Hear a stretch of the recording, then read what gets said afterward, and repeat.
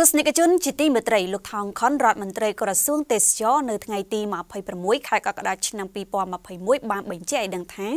ចុងសប្តាហ៍ទី4នៃខែកក្កដានេះប្រទេសកម្ពុជាទទួលបានភ្ញៀវទេសចរជិត70000នាក់ដោយក្នុងនោះភ្ញៀវជាតិមានជាង68000នាក់និងភ្ញៀវបរទេសផ្ទៃក្នុងមានជាង1200នាក់ រយៈពេល2ថ្ងៃ24 25ខែកក្កដាឆ្នាំ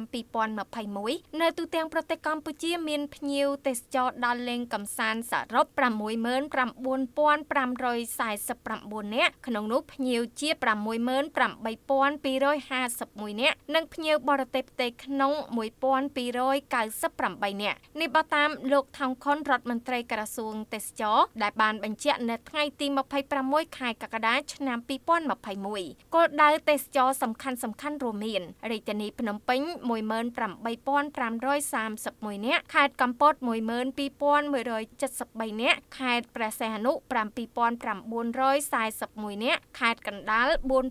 4793នាក់ខេត្តកំពង់ស្ពឺ4788នាក់ខេត្តកែប4240នាក់ចំនួននេះមានការកើនឡើង9កណ្ដោសញ្ញា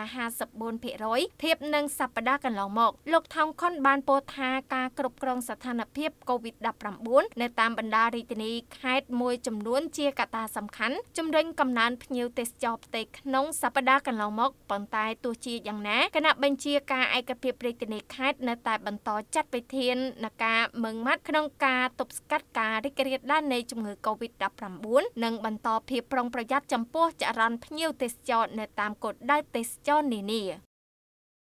កម្មវិធីនេះឧបត្ថម្ភដោយ Food Panda Food Panda ដឹកជញ្ជូនលើសពីអាហារ